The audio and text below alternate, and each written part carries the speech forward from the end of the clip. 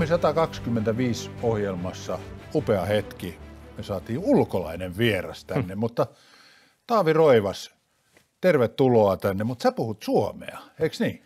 Kiitos kutsusta. Kyllä mä lapsena katsoin aika paljon äh, maikkaria ja, ja ehkä joskus nelostakin, että kaikki suomalaiset äh, komediat ja, ja parhaat TV-showt on mulle aika tuttuja. Että mm. ei, mä, mä en ole päiväkään suomen kieltä oppinut, mutta niin paljon kuin TVstä on nähty sitten. Sä oot tuttu Virossa, mutta, mutta tota, kaikki suomalaiset ei, ei tiedä. Kerrotko vähän omasta taustasta?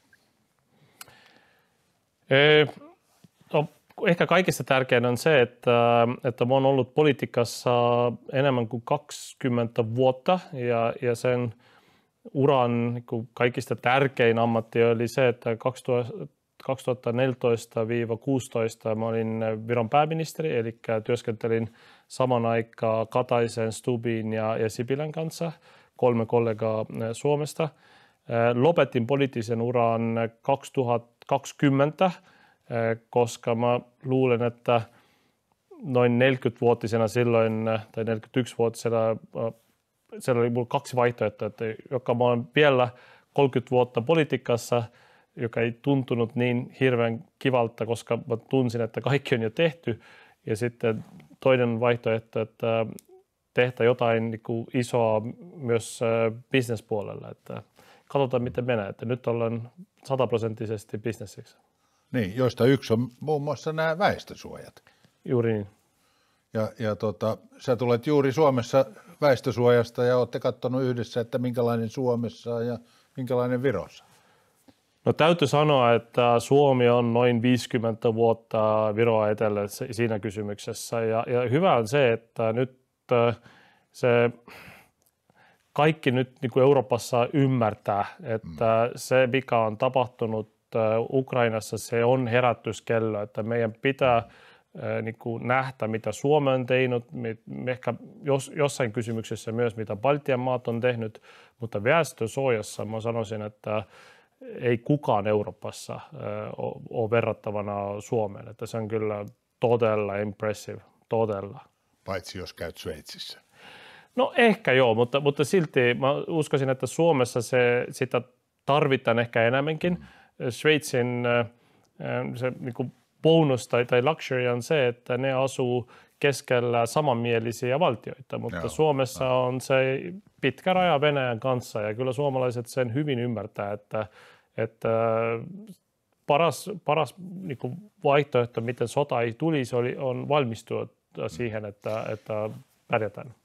Hyvä näin. Tuota, kahvilaan on, on ilmeisesti tulossa – suurin osa suomalaisista presidenttiehdokkaista. Sä tiedät, että meillä on tammikuun lopussa presidentinvaalit. Ja mä ajattelin, että mä kysyn sulta, suomalaiset usein kysyy, että mitä ulkolaiset ajattelee meistä. Mä kysyn vähän näkemystä, että miten, miten sä näet Suomen tilanteen ja, ja tota, minkälainen on Suomi verrattuna Viroon monessakin suhteessa. Mutta aloitetaan tästä presidentinvaalista. No siinä mielessä näyttää todella hyvältä, että teillä on monta hyvää ehdokasta. Tunnen hyvin monetkin niistä itsekin ja, ja kyllä mullakin on oma, oma, oma suosikki, mutta en ikinä kertoisi siitä ulkoisesti, koska aina se rule on sellainen, että ei, ei toisien valtioiden politiikkaan saa niin mikään kantaa ottaa ikinä.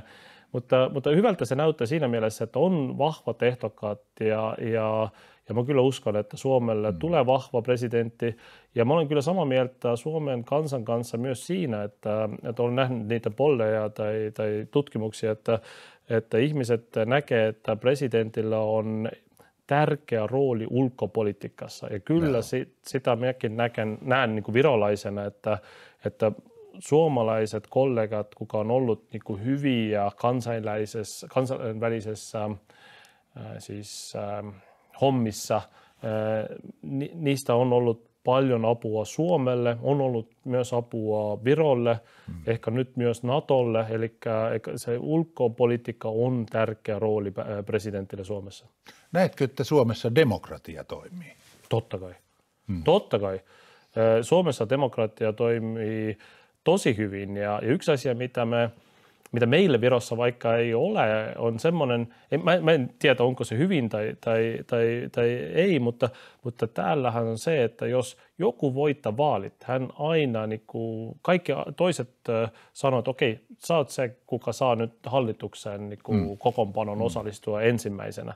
Virossa se ei ole välttämättä niin, että, ja Suomessa ne erot on, Virosta katsoen aika pienet, että teillähän, ja pollit on todella täsmälliset, että vaikka siellä on pari prosenttia tai pari pinnaa mm. erot, se, Suomessa se on iso ero, ero, Virossa se voi olla plus miinus viisi prossaa ihan helposti. Hmm.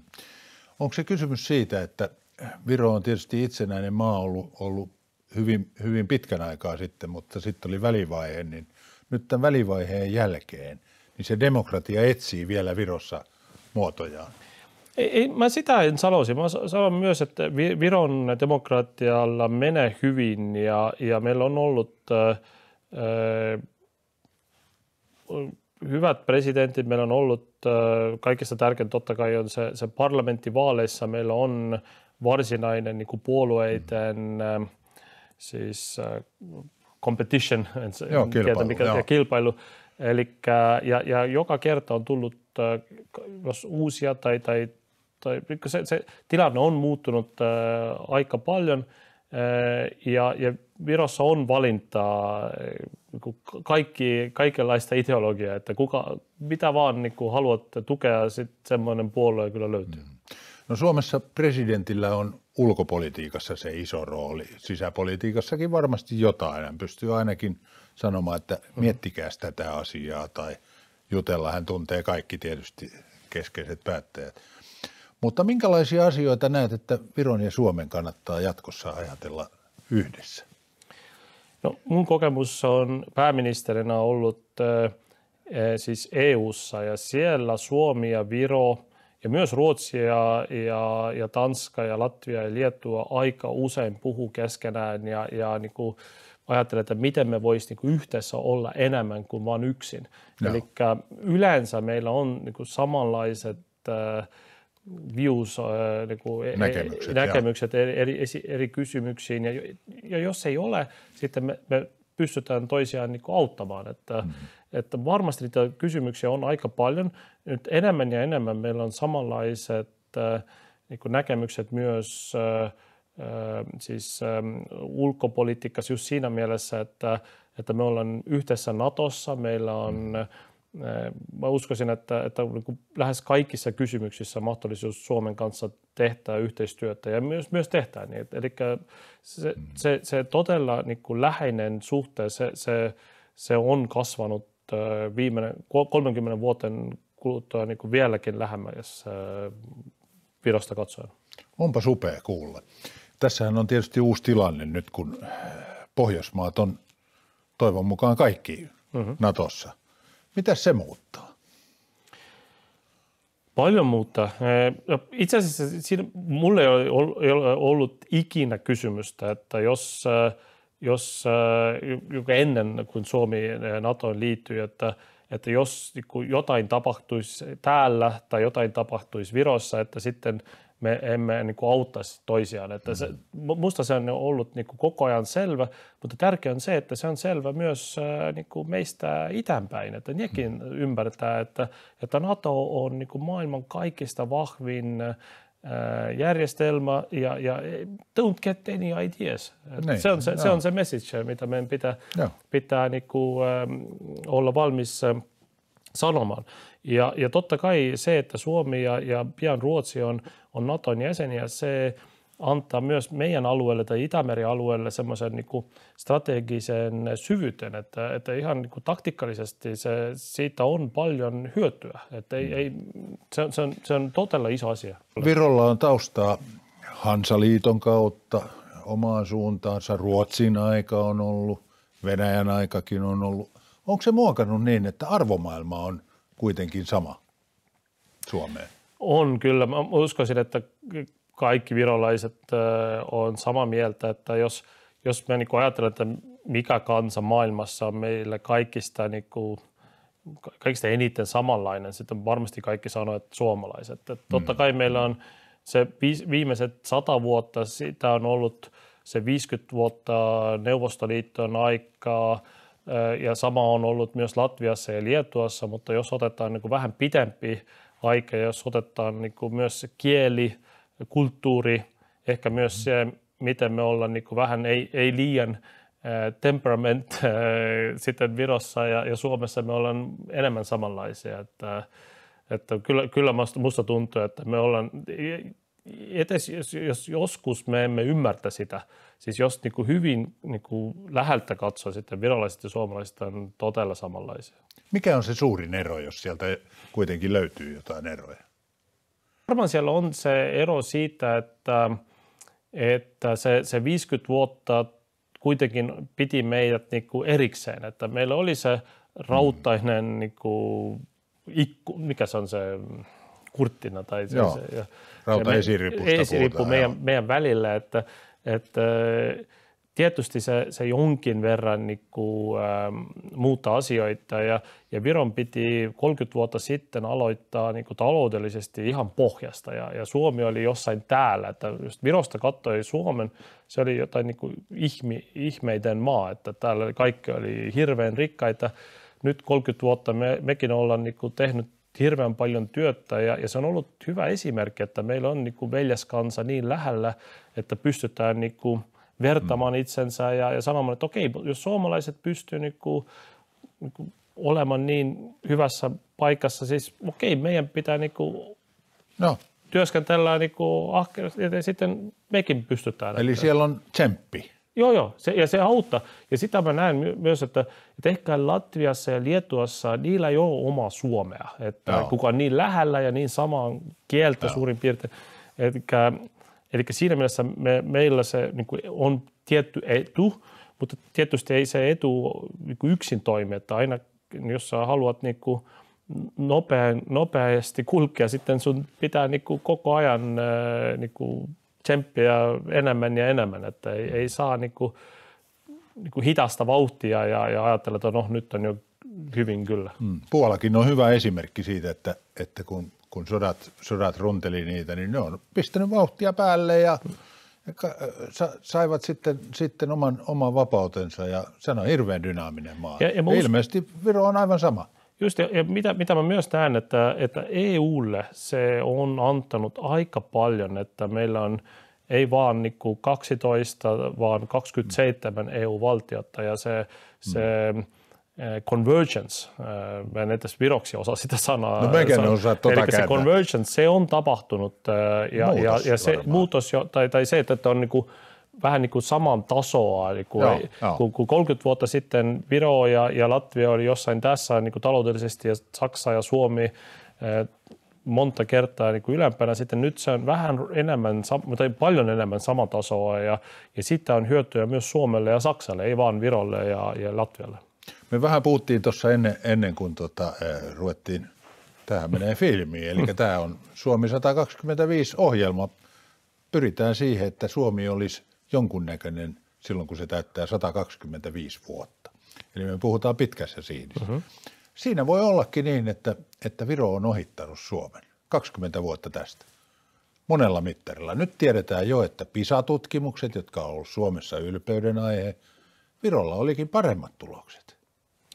No joo, mutta me ollaan mo- molemmat niin kuin maailman aivan huipulla, että, No että ei, ei se nyt niin kuin hirveän huono asia Suomelle ole, jos, jos se naapurillekin hyvin menee. Että, No että joo. mä uskon kyllä, että, että meille se molemmille ehkä se, ja ja totta kai Virolle Suomi on ollut äh, monta kymmentä vuotta semmoinen niin kuin esimerkki ja, ja se kaikki on sanonut, että kaikki, meidän Viron presidentti Lennart Meri sanoi, Joo. että meidän pitää löytää oma Nokia ja sitten löytet, löytettiin Skype ja, ja sitten se semmoinen niin startup ecosystem, mikä on ollut äh, todella niin kuin, to- to- toisenlaista. Se ei, ole, se, ei ole ollut samanlaista kuin Nokia on ollut Suomessa, se on ollut toisenlaista, mutta se on yhtä hyötyllinen ollut. Ja, ja mä uskon, että, että kyllä Suomellakin on niin kuin paljon ähm, hyvää siitä, jos, jos Virolla menee hyvin, että, että ehkä semmoinen äh, healthy competition, tai no, ei, ei No edes kyllä, competition, joo. mutta semmoinen niin kuin, että katsotaan niin kuin naapuria ja,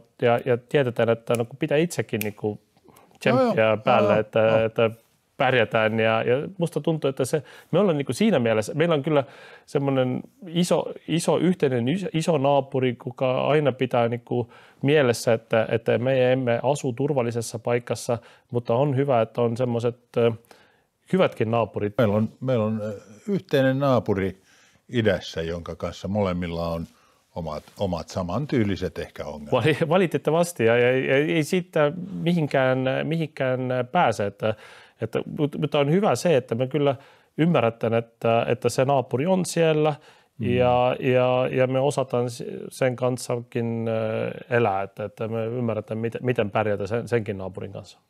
Kyllä se Skotlantikin pärjää Englannin kanssa. Näin se on, mutta, mutta pientä kilpailua on just tämmöisessä, että hei, miten me pärjätään. Ja nyt on aika vaaralliset ajat. Kuin vaarallisena Virossa pidetään tätä Venäjän tilannetta? Onko se sellainen päivittäinen ihmisten keskustelu siellä? No on se totta kai. Ja uskoisin, että, että Virossa kyllä se ensimmäinen niin kuin alarm bell oli jo silloin, kun Venäjä hyökkäsi Georgiaa 2008-luvulla. Ja Joo. sitten se toinen todella vahva herätyskello oli 2014. Se, mun ensimmäinen hallitus oli myös ihan sama aika alkoisi, kun, kun Venäjä oli just hyökkännyt äh, siis Ukrainaa äh, 2014-luvulla. Eli nyt kun se sota on jo niin joka päivästä Euroopassa, totta kai se on, se on iso aihe vaikea sanoa, että se on hyvä asia, mutta silti mä sanon, että se on hyvä asia, että nyt se on niin kuin jokapäiväinen aihe koko Euroopassa ja, ja nekin maat meistä ehkä etelässä tai, tai, tai lännessä, kenelle se 2014 ei ollut ehkä niin vahva herätyskello, nekin on mm. nyt tunnistanut, että, että jotain pitää niin kuin muuttua Venäjällä, että ei, emme pysty niin kuin, kuin, se on business as usual, ei, ei se ole mitään semmoista pientä asiaa, että meillä on sota Euroopassa ja, mm. ja se ei loppe itse, että meidän pitää Ukraina auttaa, se on ensimmäinen asia, mutta toinen asia, mihin mä uskon, että Eurooppa ja, ja maailma myös niin kuin joutuu vähän ajan kuluttua, on se, että miten se sota saa loppua e, tai, tai minkä vaihtoehto meillä on.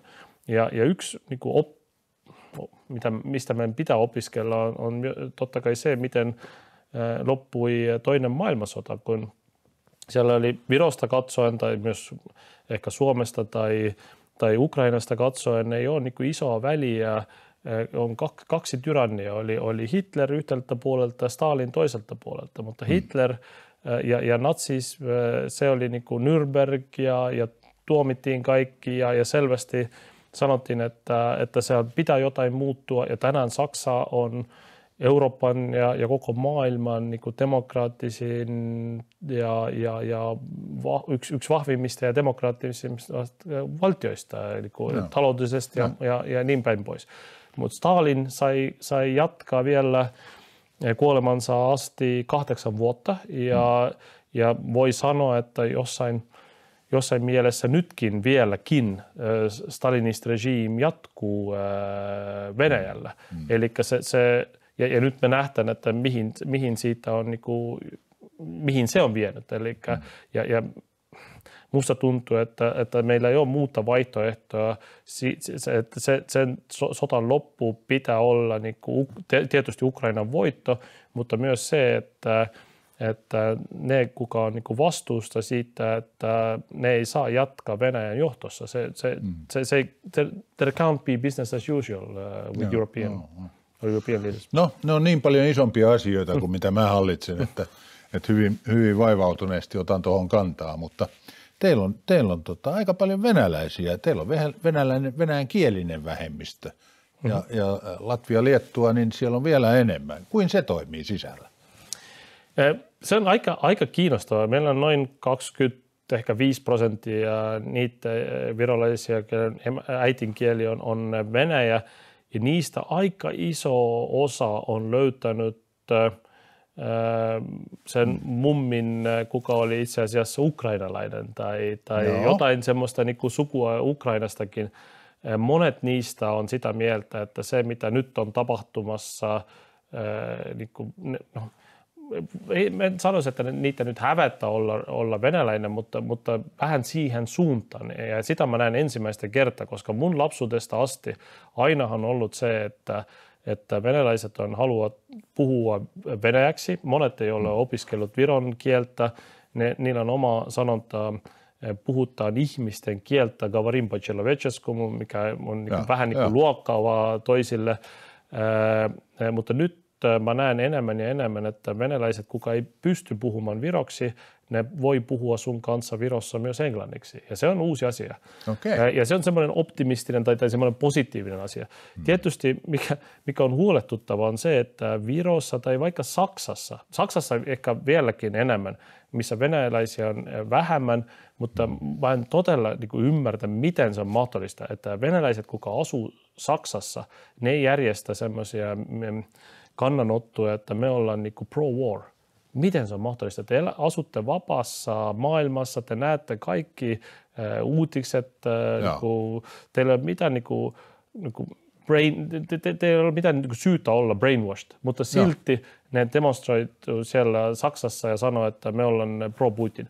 Varmaan on niitäkin Virossakin, kuka, kuka kannattaa silti Putinia ja, ja vaikka se, se on vaikeasti mm. äh, ymmärrettävä, sitten äh, hyvä asia on se, että, että ne ei ole niin äänekkäitä enää, ei, ei läheskään niin äänekkäitä kuin ne oli ehkä viisi vuotta sitten. No toivotaan, että Naton kautta toi, toi pohjoismainen ja, ja Baltian yhteys vähän antaa meille toisillemme turvaakin. Varmaan. Se voi muuttaa jopa, jopa koko Itämeren alueen tilannetta, vai miten näet?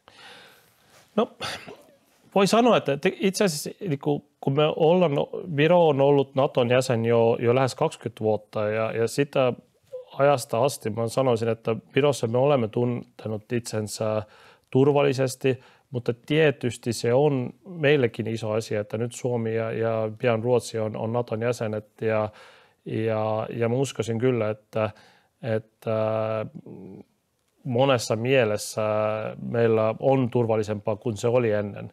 Hmm. Mutta se naapuri silti on siellä, että ei, ei hmm. kukaan Euroopassa, ei, ei, ei Saksa, ei, ei Italia, ei kukaan saa tuntea niin sataprosenttisesti turvallisesti ennen kuin jotain isoa muuttuu Venäjällä, että, että se ei saa niin kuin, se, se, se ei saa olla niin sataprosenttisesti turvallista, koska meillä on sota Euroopassa ja, ja Berliin ei ole niin kuin kauemmas kauemmas Kieveltä kuin, kuin Tallinna tai Helsinki, eli ne on yhtä, yhtä lähellä. Näetkö mulla on kau- tämmöiset saappaat täällä? No niin. Tämä saapas on semmoinen ajatus. Mä en tiedä, onko Virossa semmoinen sanonta, että täyttää isot saappaat. Totta kai. Niin, sama. Niin nyt on, nyt on Suomessa presidentin vaalit tulossa ja nyt nämä isot saappaat pitää täyttää. Minkälainen olisi sun toive, että Suomi löytäisi? Minkälaiset ominaisuudet, jotta se pelaisi naapureiden kanssa hyvin? No Suomen presidentti, presidentillä on enemmän niin kuin roolia kuin Virossa vaikka. Ja, ja, ja se on siinä mielessä todella tärkeää, että, että tietysti, tietysti hallitus ja, ja pääministerikin on niin kuin ehkä, ehkä vieläkin tärkeämpi siinä mielessä, että, että minkälaiset niin kuin viralliset kannat mm. valtio ottaa – mutta, mutta presidentin roolia mä näen kyllä kaikista enemmän äh, ulkopolitiikassa ja, ja tietysti myös äh, naapureiden kanssa, miten tulee toimeen, että se, sekin on äh, aika, aika tärkeää. Ja mä en näe mitään niin kuin mahdollisuutta, että, että yhten Suomen naapurin kanssa olisi mitään mahdollisuutta lähiaikana tulla hyvin toimeen, mutta kaikkien toisien kanssa tietysti, tietysti on ja myös EU:ssa ja, ja mm. Natossa. Että, Presidentillä on tärkeä rooli. No sä tunnet näitä kandidaatteja. Pekka Haavistokin on, mm-hmm. on, mainitsi sinut, kun, kun tässä on ollut puhetta, että tun, mm-hmm. tunnette toisenne. Ja, ja oliko niin, että sä oot Alexander Stubin kanssa käynyt lenkilläkin? Oi, montakin kertaa, joo. Ja itse asiassa mä en tiedä, onko siitä Suomesta puhu, Suomessa puhuttu, ja toivottavasti mä en nyt niin sano isoa salaisuutta, mutta – mutta myös äh, se Baltic Connectorin äh, rakentamiseen me periaatteessa päätettiin äh, Stubin saunassa, että käytiin no niin. ensiksi lenkillä yhdessä, kun me oltiin pääministerit ja täytyy kyllä sanoa, että hän oli enemmän kuin puoli tuntia minua nopeampi pääministerinä niin kuin maratoni, maratonia juoksen. No. Ja silti hän on niin kuin paremmassa kunnossa, että sitten niin kova, kova respekti siitä. Mutta me sen käytin lenkillä, se oli joskus, mikä se kuu meillä nyt on suomeksi? November. Niin, mikä marraskuu. marraskuu. Se oli marraskuun puolivälillä ja käytiin lenkillä, lunta oli ulkona, käytiin saunassa, käytiin kesärantaa siellä meressä uimassakin ja sitten periaatteessa sovittiin, että me, meillä on sitä niin kuin kaasu, me tarvitaan se kaasuputki. Ja kun silloin oli, mä uskoisin kyllä, että Stubb niin kuin teki semmoisen niin gestin tai semmoisen, niin kuin, että se on hyvä Virolle. Ja, ja ihan oikeasti hän ajatteli, että hän auttaa naapuria ja, ja me oltiin mm. todella kiitollisia ja ollaan tänäänkin. Sitten nyt me ollaan nähty, että, että sitä on itse asiassa ollut, todella paljon hyötyä myös Suomelle, koska mm enimmäkseen se kaasu on tullut just sieltä Viron puolelta tänne. Eli kukaan ei, ei ikinä tietää, miten se, jos, niin kuin, jos sä teet jotain tärkeää, sitten voi mm. olla, niin kuin, jos sä teet toiselle jotain hyvää, sitten se voi olla itse asiassa hyvä sulle itsellekin. Että. Joo. No mitäs muuta siitä voi, voi tuota, tuosta meren yli kulkea? Voiko siitä kulkea tunneli joskus? Toivottavasti. Sähkökaapeleitakin voisi enemmän olla, että me, se tuhat megawattia, mikä meillä on nyt, sitä on vähän, liian vähän. Ja, ja kaasuputki on hyvä asia, valitettavasti ei nyt kunnossa tänä talvena, mutta kyllä se, kyllä se korjataan ja, ja tulee taas, taas toimimaan.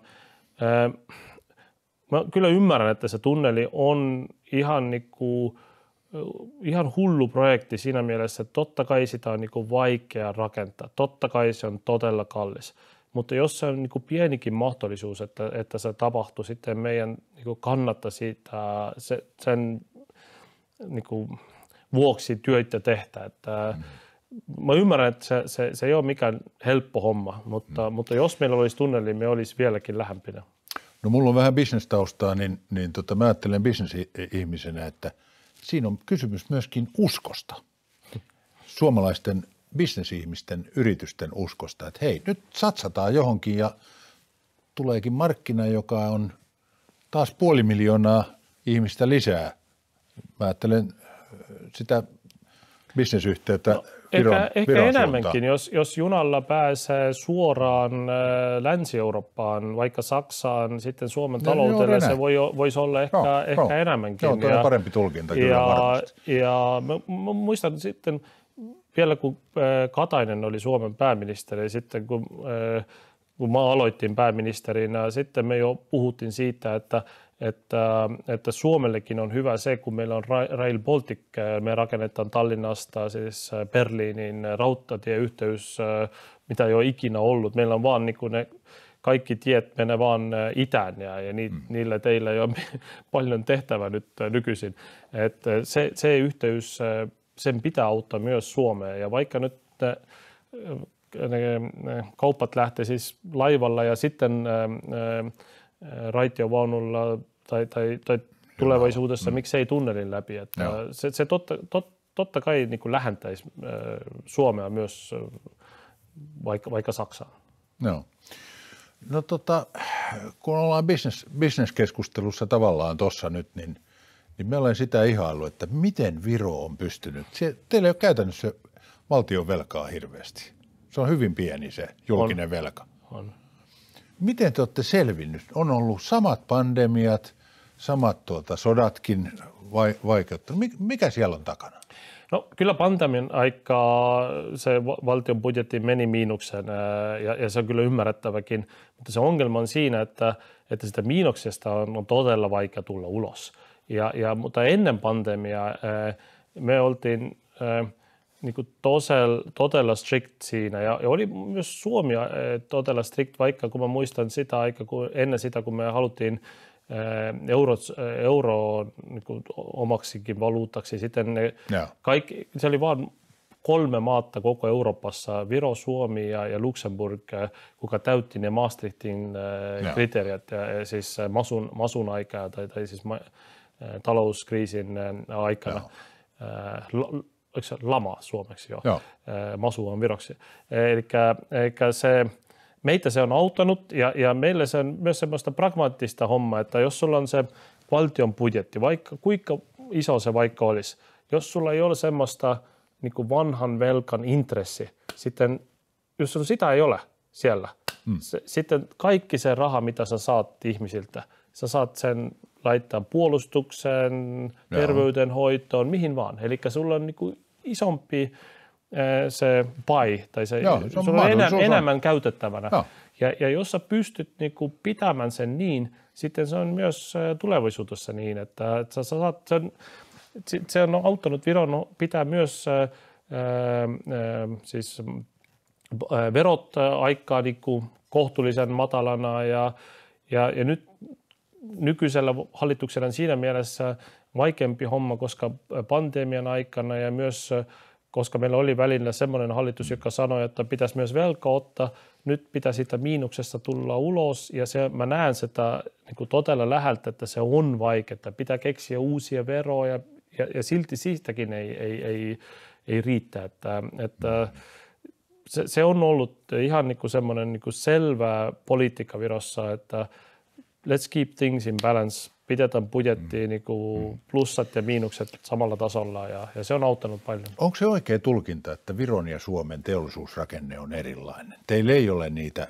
isoja metsäteollisuusjuttuja samalla lailla kuin Suomessa. Sitäkin on teillä, mutta, mutta teillä on enemmän pieniä, keskisuuria yrityksiä tai ulkolaisten yritysten tyttäriä.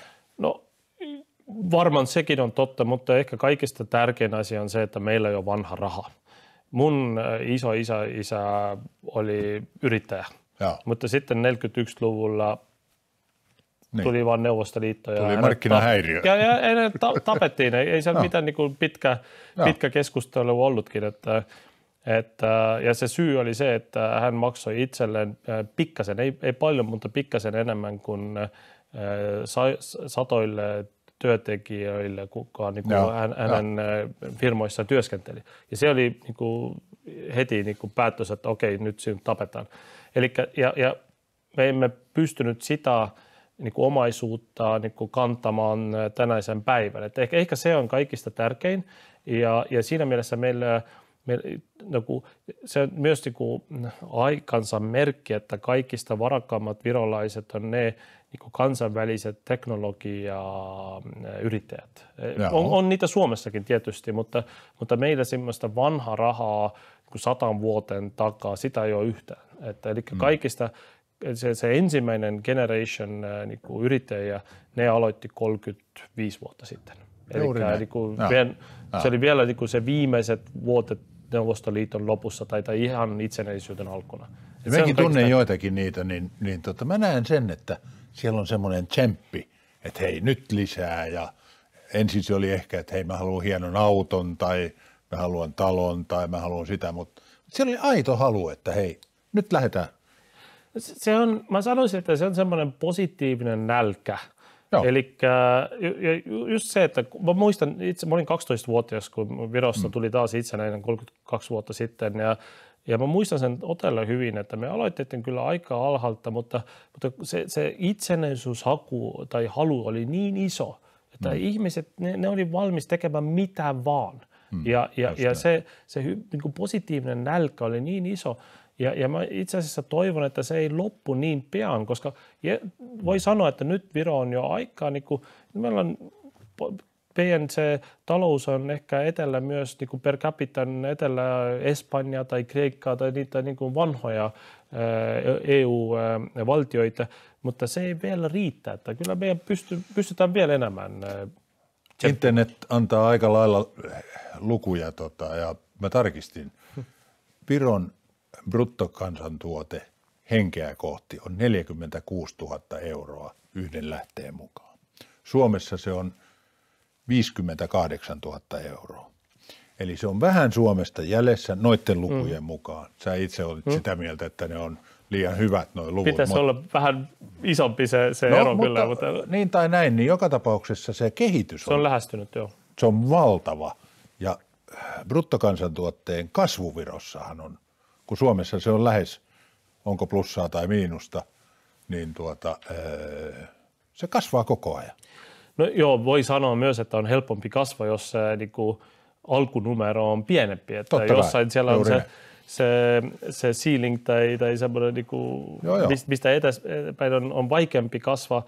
Ö, mutta tietysti mitä on ollut niin kuin Virolle todella tärkeää on se, että, että heti ymmärretään, että meillä on pieni markkina ja, ja ei kukaan ei pysty niin kuin periaatteessa ö, kasvamaan niin kuin miljardi ö, yrityksesti vaan Virossa. Mm. Ja, ja sitä näkee myös Suomessa, että, että semmoiset kansainväliset teknologia yritykset, niillä on ollut mahdollisuus nopeammin kasvaa. Mm. Eli kun me otetaan semmoiset perusteollisuudet, vaikka se sama metsäteollisuus tai, tai steel tai, tai jotain semmoista niin kuin, mm. ship repair, jotain semmoista. Ne, Sitten kasva nollasta niin kuin 100 miljoonaa on, on todella niin kuin, hankala. No. Mutta jos sä, vaikka Skype, mikä rakennettiin Virossa jo 20 vuotta sitten tai enemmän kuin 20 vuotta sitten, se, se oli niin kuin nollasta kahdeksan miljardiin vähemmän kuin kymmenessä vuotessa. No niin. ja, ja se on mahdollista, mahdollista ja, ja, ja, ja se Skypein esimerkki on totta kai auttanut toisiakin Viron yrityksiä kasvamaan, ei nyt ehkä ihan niin kuin Skypein, kun on, on, on, on semmoisiakin, vaikka Bolt tai, tai Wise, mutta, mm. mutta on kasvanut eh, myös sata, satojen miljoonien eh, yhtiöitä aika monta. Että, Joo, se on upea suoritus. No sä oot ollut valtiota edustamassa tässä, tässä asiassa aikaisemmin, niin oliko valtiolla myöskin jo semmoinen asenne, että hei, näitä autetaan? paras, mitä valtio saa tehdä, on periaatteessa get the fair playing field.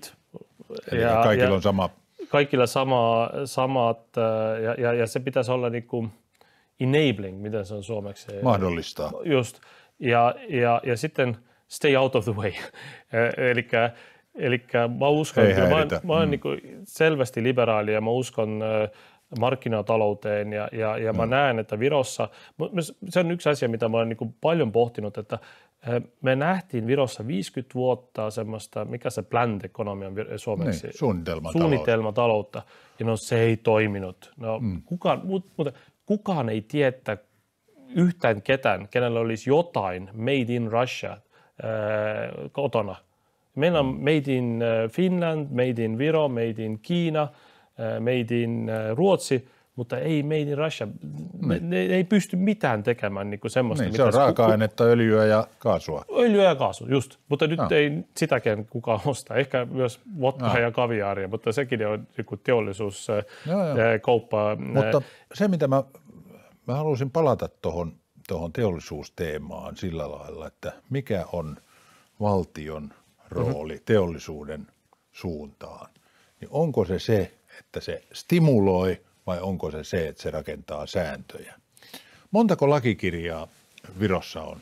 sanoisin niin, että, että mun mielestä valtion pitää rakentaa semmoinen äh, environment ja se pitäisi olla mahdollistavaa. Eli, eli verojen ei pitäisi olla liian korkeita. Äh, säännöt pitää olla semmoisia, että, että ne on niin kuin, ei anarki, mutta, mutta ne mahdollistaa ja, ja siellä ei ole liian paljon byrokratiaa.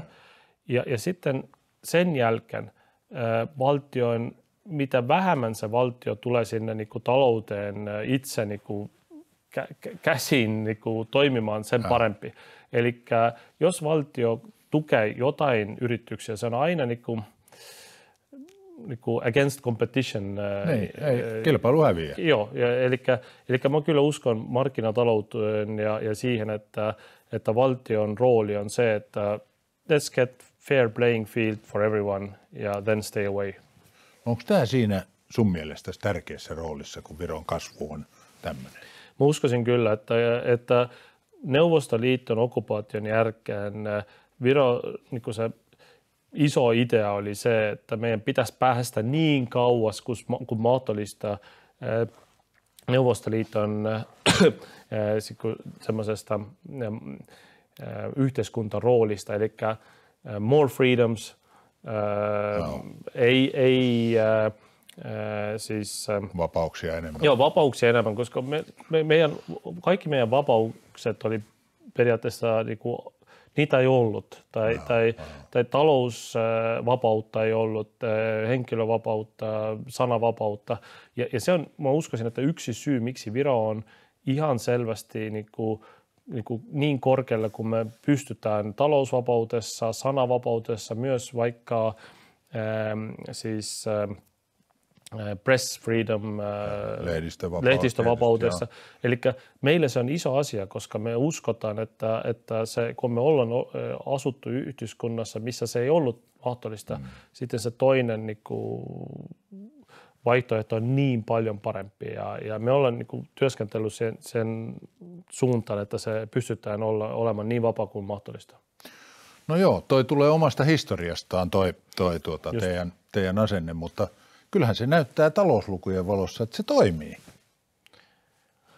No mä uskoisin myös, että, että opiskelin talou, taloustietettä yliopistossakin ja – ja kyllä siellä niin on järkeä, että jos katsot, miten se niin kuin talous toimii, siis jos sä haluat sitä hitaasta sitten laittaa vaan niin kuin enemmän veroja ja kyllä sä pystyt sen talouden sitten talouskasvun hidastamaan, että ei siellä mitään niin, kuin, hmm. niin monimutkaista ole. Että, että, ja me emme ole siinä vaiheessa, että, että me hmm. voitaisiin niin laittaa niin hirveän isoa veroa, että, että niin kuin, me, meille se kasvu on ollut tärkeä ja me ymmärretään, että jos me saatan se, se ympyrä, se budjetti isommaksi, sitten kaikille on vähän enemmän. Että jos me ruvetaan nyt jo tänään sitten niin kuin enemmän jakamaan tai, tai mm. äh, sit, sitten ehkä tulevaisuuden kasvu äh, ei ole niin iso kuin se on ollut aikaisemmin. Mm. Että. Mä kysyin lakikirjoista sen takia, että mun ajatus meni niin, että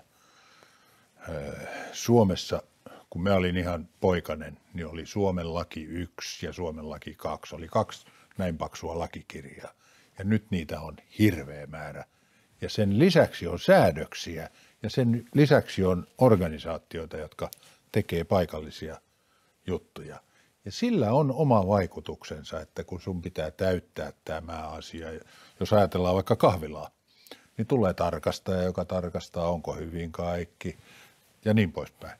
Ja tätä on todennäköisesti Virossa vähemmän. Mm, haluaisin sanoa kyllä, mutta mä en ole niin hirveän varma siitä, että kyllä sama äh, tuntuu äh, Virossakin, että, että ehkä ne, joskus on, on parempi uskaltaa myös niinku, ter, niinku järkeä, että ei aina pitää joka niinku, pientä asiaa ehkä valtion niinku, checkata, että onko sulla se kaikki oikein. Äh, mä kyllä ymmärtän, mistä se tulee ja, ja musta tuntuu, että ehkä on asioita, vaikka se statistics, me, me pystytään itse asiassa niin kuin, saman aikaan, kun me kootaan sitä statistik, tai sitä, mikä se statistik suomeksi on se tilasto, tilasto. että jos me käytetään niin kuin, tietokoneita ja, ja, ja digitaalisia järjestelmiä me pystytään itse asiassa niin kuin vähentämään sitä, sitä byrokratiaa, että mä uskoisin kyllä, että se, se, sen ei pitää olla niin, että, että se koko ajan vaan kasvaa ja kasvaa. Että... No Viro on pieni maa, Suomikin on pieni maa, niin pienen maanhan pitää olla ketterä, sitä mä ajattelen. Juuri niin, ja, ja, ja mä sanoisin vieläkin enemmän, että, että pienen maan pitää niin kuin hirveästi työtä tekee sen eteen, että, että olla merkittävä niin kuin kansainvälisellä areenalla.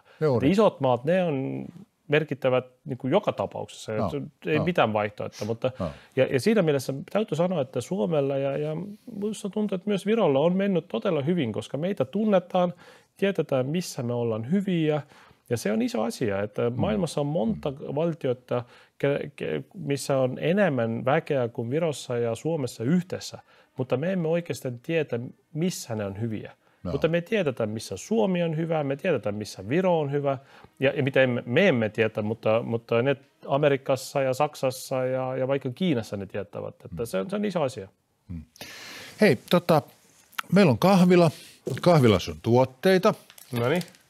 tota, sä puhuit erittäin hyvää suomea ja kiitoksia, että, että vaivaudut tänne tulemaan ja, ja tota, jopa, jopa tota, kielellä, joka ei ole sulle ensimmäinen kieli suinkaan. Ei, ei, eikä toinen. Mutta tämä on englanniksi nimeltään fortune cookie. no niin, Katsotaan, mitä se kertoo sulle ja sitten mä haluan kuulla, että mitä sä haluaisit, että siinä lukisi, jos puhutaankin Suomesta. toivoisin, että kun Suomi täyttää 125, sitten kaikki Suomen naapurit on äh, demokraattiset maat. Eli toivottavasti se tulee tapahtumaan 20 vuotten kuluttua. Ja nyt sä puhut myöskin itänaapurista. Totta kai, joo. Se on se ainut, ainut naapuri tänään, kuka ei ole vielä niin kuin toim, hyvin toimiva demokratia. Mutta äh, mun se onnen keksi sanoa, että älä juokse pakon, vaan antautu. Ota vastaan se hyvä, jota elämä antaa, ja se antaa sinulle paljon. Ja mä toivon todella sinulle paljon.